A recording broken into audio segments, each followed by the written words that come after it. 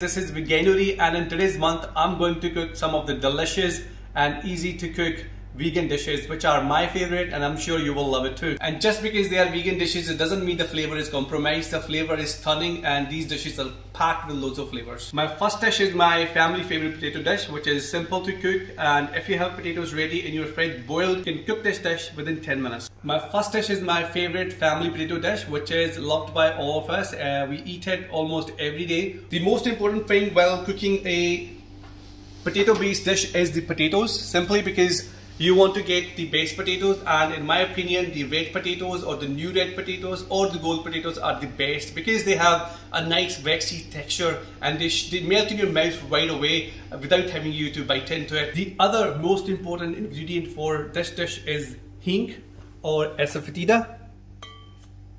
This is one of the inexpensive Indian spice which is used for many vegetarian dishes or vegan dishes. You can cook potatoes, lentils, stews or even fish with this. So the asafoetida is very very pungent and it has a beautiful aroma of onions and garlic and it adds tons of flavors in the dish. Asafoetida is easily available in Asian grocery stores uh, or you can buy from Amazon. It's only for three or four pounds. Um, they are available in two different colors. Brown which is a full strength, uh, very pungent, very very strong uh, flavored uh, asafoetida and uh, you don't want to use it more than half a pinch. But I recommend you buying the yellow Uh, asafoetida which is nicely diluted, balanced with the turmeric and other ingredients and it will totally transform the dish to a new level. You can and to cook my favorite potato dish, I have boiled potatoes, asafoetida, I'm going to use garam masala, Kashmiri chili powder, turmeric powder, dry mango powder, cumin seeds, dried fenugreek leaves, green chilies and vegetable oil. Get your pan hot and add vegetable oil. And once the oil is hot, add asafoetida and let it foam and then add cumin seeds. Give it a quick stir. Then quickly add green chilies. You can remove the seeds if you like. Give them a fry for about 30 seconds. Add chili powder turmeric powder, use them a stir and cook them for about 30 seconds. And then go in with your boiled potatoes, just crumble them with the hand, lightly crumble them and add them in the sauce.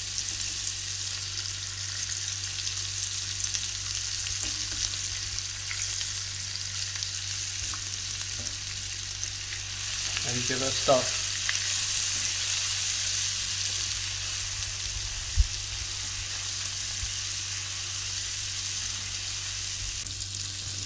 So stir everything together just to coat potatoes. You don't want to stir them too much otherwise they will break very quickly because they are boiled already and they are cooked.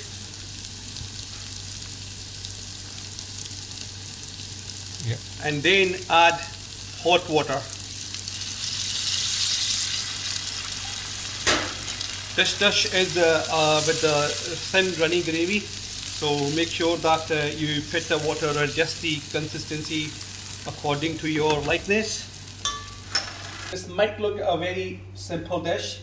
The flavors from the asafoetida and the green chili and the fresh coriander that I'm going to add at the end will add into the flavors and, and in our family we love to eat with paratha and chapati. This is a phenomenal dish.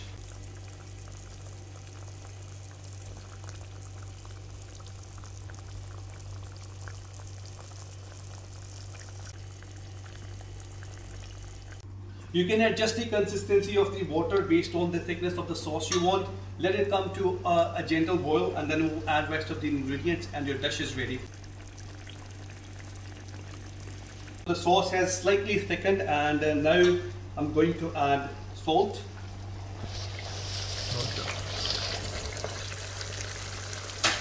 Dried fenugreek leaves, crush them between your hands and put them in some dry mango powder and garam masala. Give it a stir. I can already smell a nice aroma. Trust me guys, See the dry mango powder and the kasuri methi, the dry fenugreek leaves that I have added, they totally take the dish to a new level and trust me, you will totally enjoy the dish. I can already smell the aromas, they are absolutely amazing.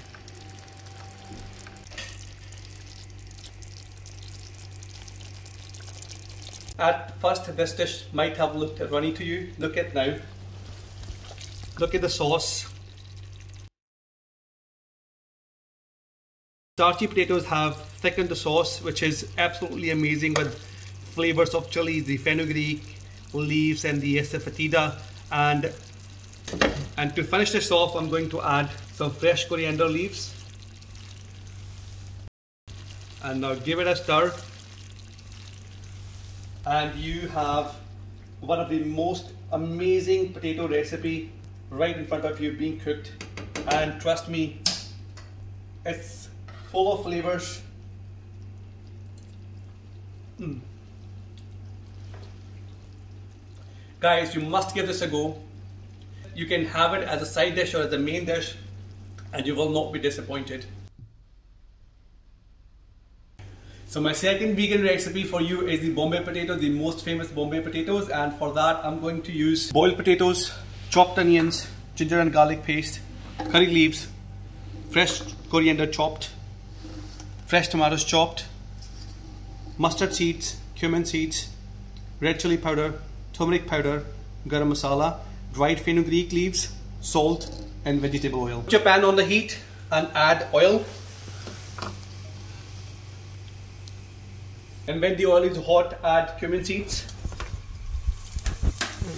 mustard seeds, and let them splutter. You want to hear the sound and then add chopped onions and give them a quick fry on a high flame.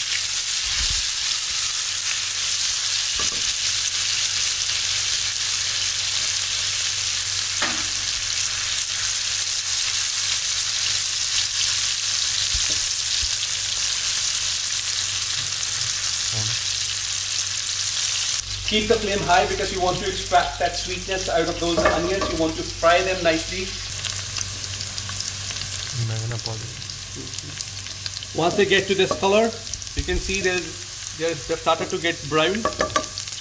Add ginger and garlic paste. Cook it on a high flame for about 2 to 3 minutes until the raw flavors are gone. And then add yeah. chili powder turmeric powder and, and give it a quick stir. Don't cook them more than 30 to 40 seconds and then add chopped tomatoes. Keep the flame high and cook the tomatoes until they have disappeared.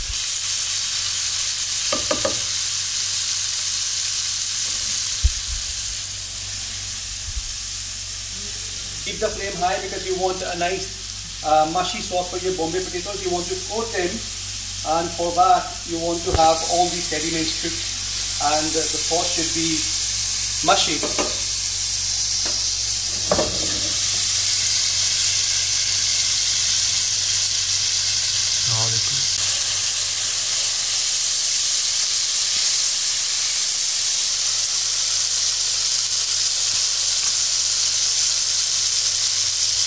And to help uh, tomatoes cook faster, add salt.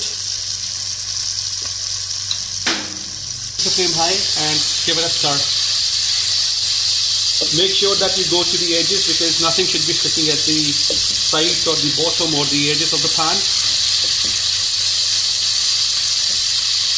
And you want to cook the onions and tomatoes until you see the oil separating and you will start to see the masala in the middle will start to get cloggy because uh, we are trying to evaporate all the moisture by cooking down.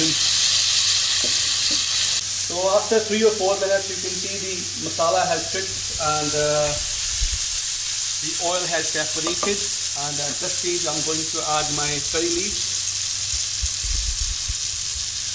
and give them a stir. Curry leaves will add a, a, a peppery and a very aromatic uh, aroma to the dish. Add some garam masala and break the potatoes and put it in. Coat the masala over the potatoes.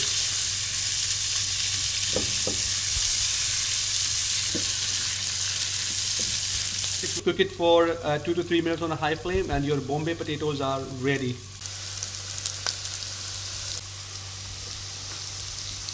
Just after about 2 or 3 minutes your Bombay potatoes are ready to be served and to finish off. I'm going to sprinkle some fresh coriander. It, it adds the magic. The fresh coriander leaves always at the end of vegetarian dishes or meat dishes will always add fresh flavor. And they coat it nicely. And there you have it guys. Bombay potatoes ready to be served so these are my two vegan dishes for Veganuary guys. I will be bringing more dishes next week and uh, stay tuned and do let me know how you get on. Give it a go and see you soon.